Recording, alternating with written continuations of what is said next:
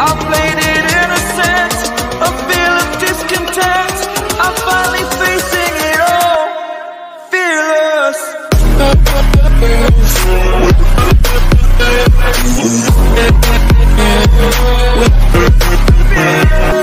ಸಾವಿರದ ಒಂಬೈನೂರ ತೊಂಬತ್ತ ಎಂಟರಲ್ಲಿ ನಡೆದ ಒಂದು ಸಂಘಟನೆ ಕಂಪ್ಯೂಟರ್ ಚರಿತ್ರೆಯನ್ನೇ ಬದಲಾವಣೆ ಮಾಡಿದೆ. ಅವತ್ತಿನ ಪ್ರಪಂಚದ ಬೆಸ್ಟ್ ಚೆಸ್ ಪ್ಲೇಯರ್ ಆಗಿರುವಂತಹ ಗ್ಯಾರಿ ಕ್ಯಾಸ್ಪರ್ ಅವರನ್ನು ಐಬಿಎಂ ಕಂಪನಿಗೆ ಸೇರಿದ ಡೀಪ್ ಬ್ಲೂ ಅನ್ನೋ ಒಂದು ಕಂಪ್ಯೂಟರ್ ಆರು ಸುತ್ತಿನ ಚೆಸ್ ಚಾಂಪಿಯನ್ಶಿಪ್ನಲ್ಲಿ ಸೋಲಿಸಿತು. ಈ ಕಂಪ್ಯೂಟರ್ಗೆ ಚೆಸ್ಗೆ ಸಂಬಂಧಿಸಿದ ಕೆಲವು ಬೇಸಿಕ್ ಪಾಯಿಂಟ್ಸ್ ಹಾಗೂ ಕೆಲವು ಆ ಗೇಮ್ಗೆ ಸಂಬಂಧಿಸಿದ ಡಾಟಾ ಅನ್ನು ಸ್ಟೋರ್ ಮಾಡಲಾಯಿತು. ಇದಕ್ಕೆ ಫಲಿತಾಂಶವಾಗಿ ಆರ್ಟಿಫಿಷಿಯಲ್ ಇಂಟೆಲಿಜೆನ್ಸ್ ಮುಂದೆ ಈ ಪ್ರಪಂಚದ ಚೆಸ್ ಚಾಂಪಿಯನ್ ಸೋಲನ್ನು ಅನುಭವಿಸುತ್ತಾನೆ. ಒಂದು ಮನುಷ್ಯನ ಮೇಲೆ ಕಂಪ್ಯೂಟರ್ ಸಾಧಿಸಿದ ಮೊದಲ ವಿಜಯ ಅದು. ಹೀಗೆ ಇನ್ನೂ ಎಷ್ಟು ನಮಗೆ ತಿಳಿಯದೆ ಇರುವ ಸಂಘಟನೆಗಳು ನಡೆದಿದೆ. ಈ ಆರ್ಟಿಫಿಷಿಯಲ್ ಇಂಟೆಲಿಜೆನ್ಸ್ ಬಗ್ಗೆ ಸಂಬಂಧಿಸಿದಂತೆ ಸಂಪೂರ್ಣವಾಗಿ ತಿಳಿದುಕೊಳ್ಳುವ ಮುಂಚೆ ನೀವಿನ್ನೂ ನಮ್ಮ ಚಾನೆಲ್ಗೆ ಸಬ್ಸ್ಕ್ರೈಬ್ ಆಗಿಲ್ಲ ಅಂದ್ರೆ ದಯವಿಟ್ಟು ಸಬ್ಸ್ಕ್ರೈಬ್ ಆಗಿ ಹಾಗೂ ಪಕ್ಕದಲ್ಲೇ ಇರುವ ಬೆಲ್ ಐಕಾನ್ ಅನ್ನು ಕ್ಲಿಕ್ ಮಾಡಿ.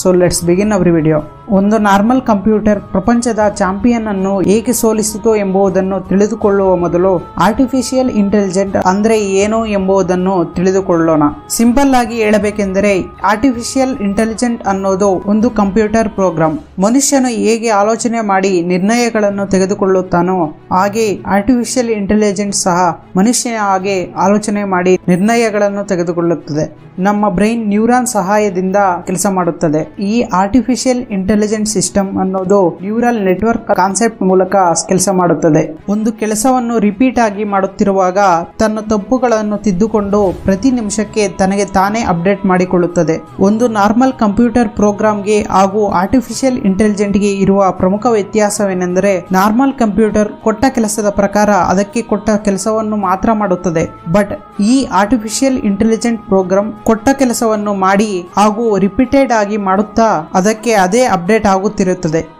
ಇಲ್ಲಿಯೂ ಸಹ ಹಾಗೆಯೇ ನಡೆಯಿತು. ಐ ಬಿ ಎಂ ಕಂಪನಿ ತಯಾರು ಮಾಡಿದ ಕಂಪ್ಯೂಟರ್ಗೆ ಚೆಸ್ಗೆ ಸಂಬಂಧಿಸಿದ ರೂಲ್ಸ್ ಹಾಗೂ ಅದಕ್ಕೆ ಸಂಬಂಧಿಸಿದ ಡೇಟಾ ಅನ್ನು ಸ್ಟೋರ್ ಮಾಡಲಾಯಿತು. ಆ ಡೇಟಾ ಅನ್ನು ಯೂಸ್ ಮಾಡಿಕೊಂಡು ಆ ಕಂಪ್ಯೂಟರ್ ಪ್ರತಿ ಬಾರಿ ಅದಕ್ಕೆ ಅದೇ ಅಪ್ಡೇಟ್ ಮಾಡಿಕೊಂಡಿದೆ. ಹೀಗೆ ಆಡುವ ಮೂಲಕ ಆ ಕಂಪ್ಯೂಟರ್ ಚೆಸ್ ಗೇಮ್ಗೆ ಸಂಬಂಧಿಸಿದ ತಪ್ಪುಗಳನ್ನು ಹಾಗೂ ಹೊಸ ವಿಷಯಗಳನ್ನು ಕಲಿತುಕೊಂಡು ಅದಕ್ಕೆ ತಾನೇ ಡೆವಲಪ್ ಮಾಡಿಕೊಂಡಿದೆ. ಅದು ಎಷ್ಟಕ್ಕೆ ಅಂದರೆ ಕೇವಲ ಒಂದು ದಿನದಲ್ಲಿ ಇಪ್ಪತ್ತು ಲಕ್ಷ ಮೂವ್ಸ್ ಪರ್ ಸೆಕೆಂಡ್ಗೆ ಆಲೋಚನೆ ಮಾಡುವ ಸಾಮರ್ಥ್ಯವನ್ನು ಡೆವಲಪ್ ಮಾಡಿಕೊಂಡಿದೆ. ಇದರ ಫಲಿತಾಂಶವಾಗಿ ಅವತ್ತಿಗೆ ಚೆಸ್ ಅಂದರೆ ಏನೂ ತಿಳಿಯದೇ ಇರುವ ಕಂಪ್ಯೂಟರ್ ಕೈನಲ್ಲಿ ಪ್ರಪಂಚದ ಚೆಸ್ ಚಾಂಪಿಯನ್ ಸೋಲನ್ನು ಅನುಭವಿಸುತ್ತಾನೆ. ನಮ್ಮ ಆಲೋಚನೆಗಳಿಂದ ಪ್ರಾರಂಭವಾದ ಈ ಕಂಪ್ಯೂಟರ್ಸ್ ನಮಗಿಂತ ಹೆಚ್ಚು ಆಲೋಚನೆ ಮಾಡುವ ಸಾಮರ್ಥ್ಯವನ್ನು ಇವು ಹೊಂದುತ್ತವೆ. ಈ ಒಂದು ಇನ್ಸಿಡೆಂಟ್ ಮಾತ್ರ ಅಲ್ಲ, ಕೆಲವು ವರ್ಷಗಳಿಂದ ಇಂತಹ ಇನ್ಸಿಡೆಂಟ್ಗಳು ತುಂಬಾ ನಡೆಯುತ್ತಿವೆ. ಎರಡ್ ಸಾವಿರದ ಹದಿನೇಳರ ಜೂನ್ನಲ್ಲಿ ಫೇಸ್ಬುಕ್ಗೆ ಸೇರಿದ ಕೆಲವು ಇಂಜಿನಿಯರ್ಸ್ ಆರ್ಟಿಫಿಷಿಯಲ್ ಇಂಟೆಲಿಜೆಂಟ್ ಮೂಲಕ ಕೆಲಸ ಮಾಡುವ ಅಡ್ವಾನ್ಸ್ಡ್ ಚಾಟ್ ಬೋರ್ಡ್ ಅನ್ನು ತಯಾರು ಮಾಡಿದರು. ಕೆಲವು ವೆಬ್ಸೈಟ್ಸ್ ಹಾಗೂ ಆಪ್ಸ್ ಅನ್ನು ನೋಡಿದಾಗ ನಾವು ರಿಪ್ಲೈ ಮಾಡಿದ ತಕ್ಷಣ ಆಟೋಮೆಟಿಕ್ ಆಗಿ ರಿಪ್ಲೈ ಬರುತ್ತದೆ. ಅವೇ ಚಾಟ್ ಬೋರ್ಡ್ಸ್ ನಾವು ಅವುಗಳಿಂದ ಹಿಂದೆ ನಾವು ಒಂದು ಮನುಷ್ಯನ ಜೊತೆ ಮಾತನಾಡುತ್ತಿದ್ದೀವಿ ಎಂದು ಅಂದುಕೊಳ್ಳುತ್ತೀವಿ. ಆದರೆ ನಾವು ಮಾತನಾಡುವುದು ಒಂದು ಕಂಪ್ಯೂಟರ್ ಜೊತೆ. ಇವುಗಳ ಹಿಂದೆ ಸಾವಿರಗಟ್ಟಲೆ ಆಲ್ಗೋರಿದಮ್ಸ್ ಮೂಲಕ ಇವು ಕೆಲಸವನ್ನು ಮಾಡುತ್ತವೆ. ಫೇಸ್ಬುಕ್ ಸಹ ಹೀಗೆ ಮನುಷ್ಯರ ಜೊತೆ ಮಾತನಾಡುವ ಎರಡು ರೋಬೋಟ್ಸ್ ಅನ್ನು ತಯಾರು ಮಾಡಿದೆ. ಅದರ ಹೆಸರು ಬಾಬ್ ಮತ್ತು ಆಲಿಸ್ ಇವುಗಳ ಕಮ್ಯುನಿಕೇಶನ್ ಸ್ಕಿಲ್ಸ್ ಅನ್ನು ಇಂಪ್ರೂವ್ ಮಾಡಿಕೊಳ್ಳುವುದಕ್ಕೆ ಅವುಗಳಿಗೆ ಒಂದರ ಜೊತೆ ಒಂದನ್ನು ಮಾತನಾಡಿಕೊಳ್ಳುವ ಹಾಗೆ ಡಿಸೈನ್ ಮಾಡಿದಾಗ ಆಗ ಆ ಎರಡೂ ರೋಬೋಟ್ಗಳು ಅವುಗಳಿಗೆ ಕೊಟ್ಟ ಕೋಡ್ನಿಂದ ಒಂದು ಹೊಸ ಲ್ಯಾಂಗ್ವೇಜ್ ಅನ್ನು ಮಾತನಾಡಿಕೊಳ್ಳುವುದಕ್ಕೆ ಸ್ಟಾರ್ಟ್ ಮಾಡಿದವು. ಆಗ ಅಲ್ಲಿನ ಇಂಜಿನಿಯರ್ಸ್ಗೆ ಇವು ಏನನ್ನು ಮಾತನಾಡಿಕೊಳ್ಳುತ್ತಿದ್ದವೋ ಎಂಬುವುದು ಅರ್ಥವಾಗಲಿಲ್ಲ. ರಿಸರ್ಚ್ ನಂತರ ತಿಳಿದ ವಿಷಯವೇನೆಂದರೆ, ಈ ಹೊಸ ರೋಬೋಗಳು ಮನುಷ್ಯನಿಗೆ ಸಂಬಂಧವಿಲ್ಲದೆ ಒಂದು ಹೊಸ ಲ್ಯಾಂಗ್ವೇಜ್ ಅನ್ನು ಅವೇ ತಯಾರು ಮಾಡಿಕೊಳ್ಳುತ್ತಿವೆ. ಈ ಒಂದು ಒಂದು ಹೊಸ ಭಾಷೆ ಡೆವಲಪ್ ಮಾಡುವುದು ಅಷ್ಟು ಈಸಿ ಅಲ್ಲ.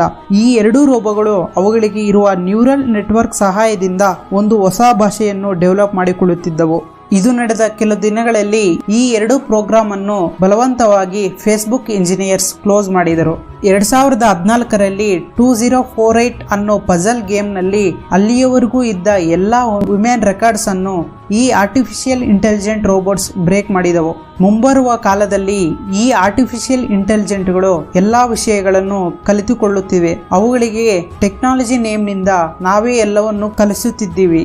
ಮನುಷ್ಯನ ಹಾಗೆ ಆಲೋಚನೆ ಮಾಡುವ ಕಂಪ್ಯೂಟರ್ ಮನುಷ್ಯನಿಗಿಂತ ಹೆಚ್ಚು ಆಲೋಚನೆ ಮಾಡುವ ಕಂಪ್ಯೂಟರ್ ಆಗಿ ಮಾರ್ಪಟ್ಟಿದೆ. ಪ್ರಸ್ತುತ ಈ ಆರ್ಟಿಫಿಷಿಯಲ್ ಇಂಟೆಲಿಜೆಂಟ್ ಹೇಗೆ ಡೆವಲಪ್ಮೆಂಟ್ ಆಗುತ್ತಿದೆ ಅಂದರೆ ಮನುಷ್ಯರನ್ನು ಸಹ ಕಂಟ್ರೋಲ್ ಮಾಡುವ ಹಾಗೆ ಇವು ಡೆವಲಪ್ ಆಗುತ್ತಿದೆ. ನೀವು ಗೂಗಲ್ನಲ್ಲಿ ಯಾವುದೇ ಒಂದು ಪದವನ್ನು ಸರ್ಚ್ ಮಾಡುವ ಮುಂಚೆ ಅದಕ್ಕೆ ಸಂಬಂಧಿಸಿದ ಕೆಲವು ಪದಗಳನ್ನು ಇದು ನೋಡಿಸುತ್ತದೆ. ಹಾಗೂ ನೀವು ಆನ್ಲೈನ್ನಲ್ಲಿ ಯಾವುದೇ ಒಂದು ವಸ್ತುವನ್ನು ಸರ್ಚ್ ಮಾಡಿದಾಗ ಅದಕ್ಕೆ ಮುಂಚೆ ಮಾಡಿದ ಸರ್ಚ್ ರಿಸಲ್ಟ್ ಅನ್ನು ಈ ಆರ್ಟಿಫಿಷಿಯಲ್ ಇಂಟೆಲಿಜೆಂಟ್ ತೋರಿಸುತ್ತದೆ. ನಾವು ಮೊಬೈಲ್ನಲ್ಲಿ ಯೂಸ್ ಮಾಡೋ ಗೂಗಲ್ ಅಸಿಸ್ಟೆಂಟ್ ಸಿರಿ ಅಲೆಕ್ಸಾ ಹೀಗೆ ಇವೆಲ್ಲ ನಮಗೆ ಹೇಗೆ ಕೇಳಿದ ಪ್ರಶ್ನೆಗಳನ್ನು ಉತ್ತರ ಕೊಡುತ್ತವೆ ಅಂದರೆ ಇದಕ್ಕೆ ಉತ್ತರ ಆರ್ಟಿಫಿಷಿಯಲ್ ಇಂಟೆಲಿಜೆನ್ಸ್ ಇವು ಮಾಡುವ ಕೆಲಸಗಳ ಹಿಂದೆ ಕೆಲವು ಲಕ್ಷಗಳ ಆಲ್ಗೋರಿದಮ್ಸ್ ಹಾಗೂ ಕೆಲವು ಕೋಟಿಗಳಷ್ಟು ಕೋಡ್ಸ್ ಕೆಲಸ ಮಾಡುತ್ತವೆ. ಇಲ್ಲಿಯವರೆಗೆ ನಾವು ನೋಡಿದ artificial intelligence weak A Is ಇವುಗಳನ್ನು ಒಂದು ಪರ್ಟಿಕ್ಯುಲರ್ ಕೆಲಸಗಳಿಗೆ ಮಾತ್ರ ಡಿಸೈನ್ ಮಾಡಲಾಯಿತು. ಫಾರ್ ಎಕ್ಸಾಂಪಲ್ ಒಂದು ಚೆಸ್ ಗೇಮ್ಗೆ ಸಂಬಂಧಪಟ್ಟ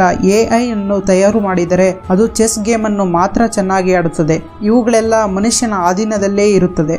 ಆದರೆ ನಾವು ಯಾವ ವಿಧವಾಗಿ ಡೆವಲಪ್ ಮಾಡಿಕೊಳ್ಳುತ್ತಾ ಹೋಗುತ್ತೀವೋ, ಅದೇ ರೀತಿ ಅವುಗಳಿಗೆ ಸ್ವಂತವಾಗಿ ಆಲೋಚನೆ ಮಾಡುವ ಸಾಮರ್ಥ್ಯವನ್ನು ಪಡೆದುಕೊಳ್ಳುತ್ತವೆ. ಕೆಲವು ವರ್ಷಗಳಿಂದ ನಾವು ಟೆಕ್ನಾಲಜಿಯಲ್ಲಿ ಎಷ್ಟೋ ಸ್ಪೀಡಾಗಿ ಕೆಲಸ ಮಾಡುತ್ತಿದ್ದೀವಿ. ಈ ಡೆವಲಪ್ಮೆಂಟ್ ಹೀಗೆ ಮುಂದಕ್ಕೆ ಸಾಗಿದರೆ ಎ ಐ ಮನುಷ್ಯನ ಆಲೋಚನೆಗಿಂತ ಮುಂದೆ ಹೋಗುತ್ತದೆ. ಇದಕ್ಕೆ ಉದಾಹರಣೆಯಂತೆ ನಾವು ಸಾವಿರದ ಒಂಬೈನೂರ ಅರವತ್ತರಲ್ಲಿ ಚಂದ್ರನ ಮೇಲೆ ಉಡಾಯಿಸಿದ ಅಪೋಲೋ ಟು ಸ್ಪೇಸ್ ಕ್ರಾಫ್ಟ್ ಈ ಸ್ಪೇಸ್ ಕ್ರಾಫ್ಟ್ ಅನ್ನು ಚಂದ್ರನ ಮೇಲೆ ಕಳುಹಿಸಿದ ಕಂಪ್ಯೂಟರ್ಗಿಂತ ನಾವು ಈಗ ಯೂಸ್ ಮಾಡೋ ಐಫೋನ್ ಸಾವಿರದ ಮುನ್ನೂರರ ಪಟ್ಟು ಹೆಚ್ಚು ಪ್ರೊಸೆಸಿಂಗ್ ಸ್ಪೀಡ್ನಲ್ಲಿ ಕೆಲಸ ಮಾಡುತ್ತದೆ. ಇದರ ಮೂಲಕ ನೀವು ಅರ್ಥ ಮಾಡಿಕೊಳ್ಳಬಹುದು. ಕಳೆದ ಐವತ್ತು ವರ್ಷಗಳಲ್ಲಿ ಟೆಕ್ನಾಲಜಿ ಅನ್ನೋದು ಎಷ್ಟು ಬೇಗ ಡೆವಲಪ್ ಆಗಿದೆ ಎಂದು. ಈ ಭೂಮಿಯ ಮೇಲೆ ಮನುಷ್ಯ ಹೆಚ್ಚಿನ ಆಲೋಚನೆಯ ಸಾಮರ್ಥ್ಯವನ್ನು ಹೊಂದಿದ್ದಾನೆ. ಇದರ ಮೂಲಕ ತನ್ನ ಆಧಿಪತ್ಯವನ್ನು ಸಾಧಿಸುತ್ತಿದ್ದಾನೆ. ನಾವು ಇಲ್ಲಿಯವರೆಗೆ ಮನುಷ್ಯನ ಇಂಟೆಲಿಜೆನ್ಸ್ ಅನ್ನು ಕ್ರಾಸ್ ಮಾಡುವ ಎ ಐ ಅನ್ನು ತಯಾರು ಮಾಡಿಲ್ಲ. ಕೆಲವು ಎ ಐ ಇಂಜಿನಿಯರ್ಸ್ ಹೇಳುವ ಪ್ರಕಾರ ಬರುವ ಮೂವತ್ತು ವರ್ಷಗಳಲ್ಲಿ ಎ ಐ ಮನುಷ್ಯನ ಇಂಟೆಲಿಜೆನ್ಸ್ ಅನ್ನು ಕ್ರಾಸ್ ಮಾಡುತ್ತದೆ. ಯಾವಾಗಾದ್ರೆ ಈ ಕಂಪ್ಯೂಟರ್ಸ್ ಮನುಷ್ಯರಿಗಿಂತ ಒಂದು ಪರ್ಸೆಂಟ್ ಮುಂದೆ ಹೋಗುತ್ತವೋ, ಆ ಸ್ಟೇಜ್ ಅನ್ನು ಸಿಂಗಲಾರಿಟಿ ಸ್ಟೇಜ್ ಎನ್ನುತ್ತಾರೆ. ಈ ಸ್ಟೇಜ್ ಮನುಷ್ಯರ ಪತನಕ್ಕೆ ಆರಂಭ ಎಂದು ಕೆಲವರ ಅಭಿಪ್ರಾಯವಾಗಿದೆ. ಪ್ರಪಂಚದ ನಂಬರ್ ಒನ್ ಸೈಂಟಿಸ್ಟ್ ಆದ ಸ್ಟೀಫನ್ ಹ್ಯಾಕಿಂಗ್ ಅವರ ಪ್ರಕಾರ ಈ ಆರ್ಟಿಫಿಷಿಯಲ್ ಇಂಟೆಲಿಜೆನ್ಸ್ ಅನ್ನು ಹೀಗೆ ಮುಂದುವರಿಸಿಕೊಂಡು ಹೋದರೆ ಮನುಷ್ಯರ ಪತನ ಆಗುವುದಕ್ಕೆ ಸ್ಟಾರ್ಟ್ ಆಗುತ್ತದೆ ಎಂದು ಹೇಳುತ್ತಾನೆ. ಯಾವಾಗಾದ್ರೆ ಈ ಆರ್ಟಿಫಿಷಿಯಲ್ ಇಂಟೆಲಿಜೆನ್ಸ್ ಕಂಪ್ಯೂಟರ್ಸ್ ಈ ಸ್ಟೇಜ್ ಅನ್ನು ದಾಟಿ ಹೋಗುತ್ತವೋ, ಭೂಮಿಯ ಮೇಲೆ ಇರುವ ಎಲ್ಲಾ ಜೀವಿಗಳ ಆಲೋಚನಾ ಶಕ್ತಿಯು ಎಐ ಮುಂದೆ ಸರಿಸಾಟಿಯಾಗುವುದಿಲ್ಲ. ಆರ್ಟಿಫಿಷಿಯಲ್ ಇಂಟೆಲಿಜೆನ್ಸ್ ಸ್ವಂತವಾಗಿ ಲ್ಯಾಂಗ್ವೇಜ್ ಅನ್ನು ಕ್ರಿಯೇಟ್ ಮಾಡಿಕೊಳ್ಳುತ್ತವೆ. ಸ್ವಂತವಾಗಿ ಅವುಗಳ ಪ್ರೋಗ್ರಾಮ್ಸ್ ಅನ್ನು ಅವೇ ಡೆವಲಪ್ ಮಾಡಿಕೊಳ್ಳುತ್ತವೆ. ಅವು ಮನುಷ್ಯರಿಗಿಂತ ಸಾವಿರಗಟ್ಟಲೆ ಹೆಚ್ಚಿನ ಶಕ್ತಿ ಹೊಂದುತ್ತವೆ. ಅವುಗಳನ್ನು ಸೋಲಿಸುವುದಕ್ಕೆ ಎಷ್ಟೇ ಟ್ರೈ ಮಾಡಿದರೂ ಸಹ ನಾವು ಅವುಗಳನ್ನು ಎಂದಿಗೂ ಸೋಲಿಸಲು ಆಗುವುದಿಲ್ಲ. ಈ ಟೈಮ್ನಲ್ಲಿ ಒಂದು ಇರುವೆ ಮನುಷ್ಯನನ್ನು ಕಂಟ್ರೋಲ್ ಮಾಡುವುದು ಎಷ್ಟು ಕಷ್ಟವೋ, ಅದೇ ರೀತಿ ಆರ್ಟಿಫಿಷಿಯಲ್ ಇಂಟೆಲಿಜೆಂಟ್ ಅನ್ನು ಕಂಟ್ರೋಲ್ ಮಾಡುವುದು ಸಹ ಅಷ್ಟೇ ಕಷ್ಟ. ಸೊ ಇದೇ ಫ್ರೆಂಡ್ಸ್ ಈ ಆರ್ಟಿಫಿಷಿಯಲ್ ಇಂಟೆಲಿಜೆನ್ಸ್ ಬಗ್ಗೆ. ಸೊ ಈ ವಿಡಿಯೋ ನಿಮಗೆ ಇಷ್ಟ ಆದರೆ ದಯವಿಟ್ಟು ಲೈಕ್ ಶೇರ್ ಆ್ಯಂಡ್ ಸಬ್ಸ್ಕ್ರೈಬ್ ಆಗಿ. Okay thanks for watching